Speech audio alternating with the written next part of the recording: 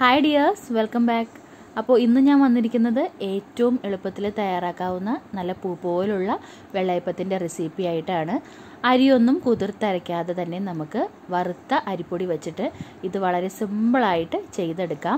അതുപോലെ ഒരുപാട് ഇൻഗ്രീഡിയൻസിന്റെ ഒന്നും ആവശ്യമില്ലാതെ നമുക്ക് ഇത് ഈസി ആയിട്ട് വീട്ടിൽ ചെയ്തെടുക്കാൻ പറ്റും. അപ്പോൾ ഈ വെള്ളയപ്പം എങ്ങനെയാണ് തയ്യാറാക്കുന്നതെന്ന് നോക്കാം. അതിന് എന്തെല്ലാം ഇൻഗ്രീഡിയൻസ് ആണ് വേണ്ടതെന്നുകൂടി നോക്കാം. അതിന് മുമ്പായിട്ട് നിങ്ങൾ എന്റെ ചാനൽ ഇതുവരെ സബ്സ്ക്രൈബ് ചെയ്തിട്ടില്ലെങ്കിൽ ആദ്യമായിട്ടാണ് കാണുന്നതെങ്കിൽ താഴെ കാണുന്ന red colour subscribe button click ചെയ്തിട്ട് ഒന്ന് സബ്സ്ക്രൈബ് ചെയ്തേക്കണേ.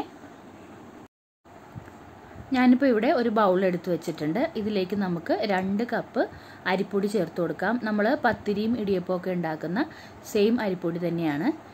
ഇതിലേക്ക് നമുക്ക് സാധാരണ പച്ചവെള്ളം ഒഴിച്ചിട്ട് ഇതൊന്ന് കലക്കി വെക്കണം.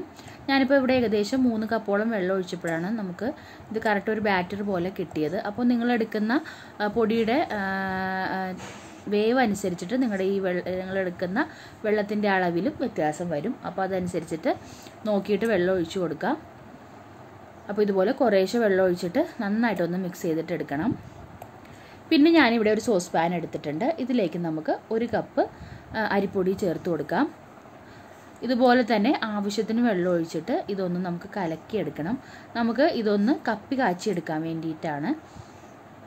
അപ്പോൾ ആവശ്യത്തിന് വെള്ളം ഒഴിച്ച് ഇത് ഒന്ന് മീഡിയം ലൂസിൽ ഒരുപാട് അങ്ങ് ലൂസായി പോകരുത് എന്നാൽ നല്ല കട്ടിക്കും ഇരിക്കരുത്. ആ രീതിക്കൊന്ന് കലക്കിയെടുക്കാം. അതിനുശേഷം ഇത് ഗ്യാസ് സ്റ്റോപ്പിലേക്ക് വച്ചു കൊടുത്തിട്ട് ഒന്ന് കുറുക്കിയെടുക്കണം. അപ്പോൾ ആദ്യം തന്നെ ഫ്ലെയിം കൂട്ടിയിടുക ഇതൊന്ന് കുറുകി തുടങ്ങുമ്പോൾ നമുക്ക് ഫ്ലെയിം കുറയ്ക്കാം. അപ്പോൾ നല്ല തുടരെ തുടരെ ഇത് ഇളക്കിക്കൊണ്ടിരിക്കണം കേട്ടോ. അല്ലെങ്കിൽ പെട്ടെന്ന് ഇത് അടുക്കി പിടിക്കും. നമ്മൾ അരിപ്പൊടി ചൂടായി വരുന്നതനുസരിച്ച് ഇത് തിക്കായിട്ട് വരും. ഇപ്പോൾ ഇത് ചൂടായി തുടങ്ങിയിട്ടുണ്ട്. ഈ ബാറ്റർ ഇതിവിടെ തിക്കായി തുടങ്ങിയിട്ടുണ്ട്. ഇനി ഇത് നന്നായിട്ടൊന്ന് തിക്കായിട്ട് വരുമ്പോൾ നമുക്ക് ഫ്ലെയിം ഓഫ് ചെയ്തിട്ട് മാറ്റി വയ്ക്കാം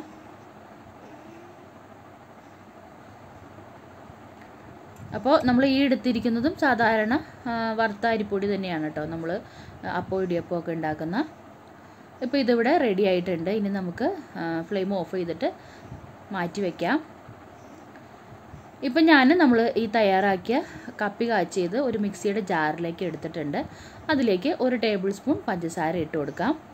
അതിന്റെ കൂടെ തന്നെ ഞാൻ ചേർത്ത് കൊടുക്കുന്നത് ഒരു ടീസ്പൂൺ ഈസ്റ്റാണ് അതുകൂടി ചേർത്തിട്ട് നമ്മൾ നേരത്തെ കലക്കി മാറ്റി വെച്ചിരിക്കുന്ന അരിപ്പൊടിയുടെ മിക്സ് ഉണ്ടല്ലോ വെള്ളം ചേർത്ത് കലക്കി വെച്ചത്.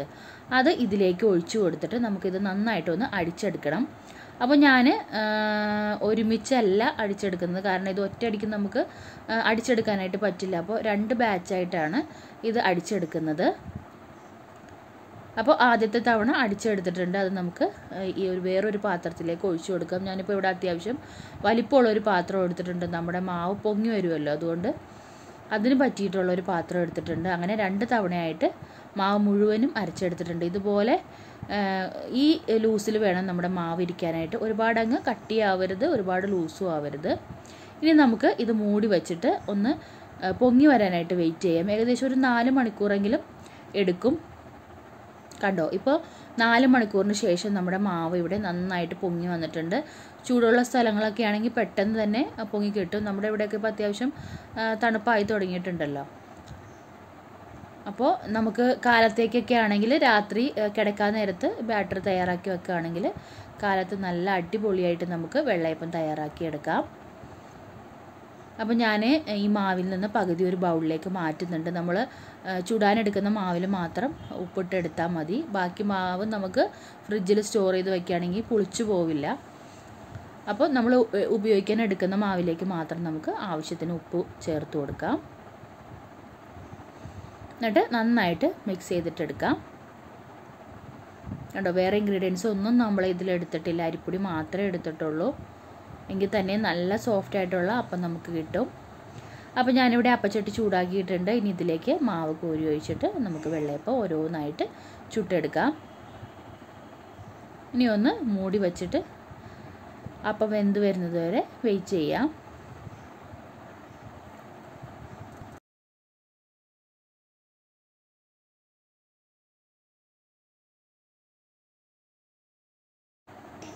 അപ്പോൾ അങ്ങനെ ആദ്യത്തെ വെള്ളയപ്പം ഇവിടെ റെഡി ആയിട്ടുണ്ട്.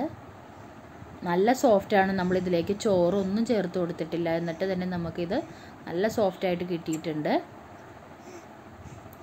ഇതുപോലെ നമുക്ക് ഓരോ അപ്പമായിട്ട് ചുട്ടെടുക്കാം.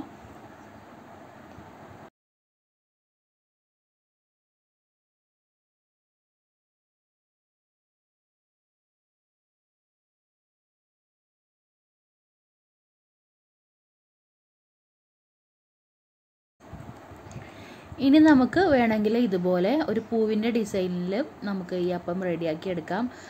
ഗസ്റ്റ് ഉണ്ടെങ്കിലോ അതുപോലെ കുട്ടികൾക്കൊക്കെ കൊടുക്കാനാണെങ്കിൽ ഇങ്ങനെയൊക്കെ ചെയ്യുകയാണെങ്കിൽ നല്ല ഭംഗിയാണ് കാണാനായിട്ട് തന്നെ. വേറെ ഒന്നുമില്ല നമ്മൾ അപ്പം ചുറ്റിക്കുന്നത് ഇതുപോലെ ഈ ഷേപ്പിലൊന്ന് ആക്കി കൊടുക്കണമെന്ന് മാത്രമേ ഉള്ളൂ. വേറെ ബുദ്ധിമുട്ടൊന്നുമില്ല അതിന് വേണ്ടിയിട്ട്. കണ്ടോ കാണാൻ തന്നെ നല്ല ഭംഗിയാണ്. അപ്പോൾ വീട്ടിൽ ഗസ്റ്റൊക്കെ ഉണ്ടെങ്കിൽ ഇങ്ങനെ ചെയ്യുകയാണെങ്കിൽ നല്ല രസം ഉണ്ടാവും കാണാനായിട്ട്. അപ്പോൾ ഇതുപോലെ ഞാൻ കുറച്ച് അപ്പം തയ്യാറാക്കി എടുക്കുന്നുണ്ട്.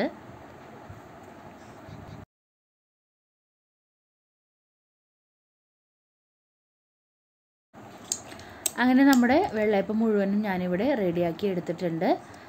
വളരെ സിമ്പിളായിട്ടുള്ള റെസിപ്പിയാണ്. എങ്കിൽ തന്നെയും നല്ല വെള്ളയപ്പം നമുക്ക് പെർഫെക്റ്റ് ആയിട്ട് തന്നെ ഇത് ചെയ്തെടുക്കാനും പറ്റും. ഫ്ലോപ്പ് ആവത്തില്ല.